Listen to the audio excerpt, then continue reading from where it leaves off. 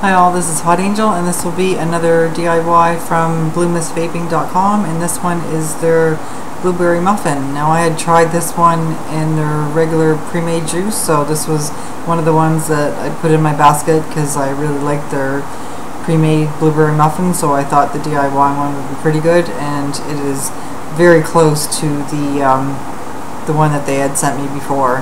Um, I will I did I already did the 3 mil sample pack before.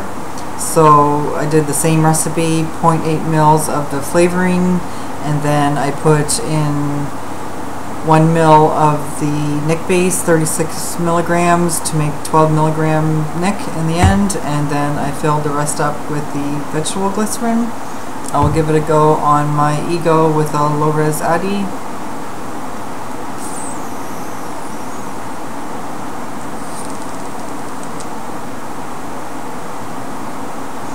Vapor on this one is great.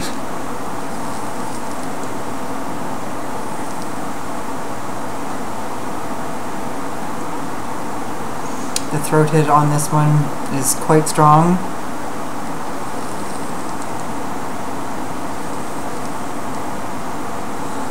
And this one tastes just like it says, it tastes like a, a blueberry muffin. You can taste the the pastry and you can taste the blueberries in it and you can almost taste a little bit of butter in it. It's really, really good stuff.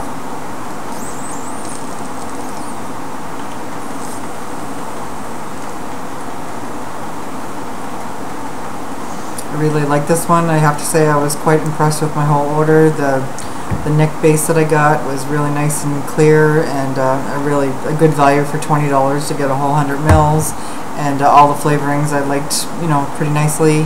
The blueberry muffin was definitely a win. Like I said, I had tried it before and they're pre-made, and the DIY was a great way for me to make a whole lot of juice and save a whole lot of money. So if you're not scared to try it, I definitely recommend DIY. If you don't want to, you can just go to their site and order the pre-made uh, blueberry muffin. It's very, very close, um, so you can give that a go if you don't want to mix it, mix it yourself.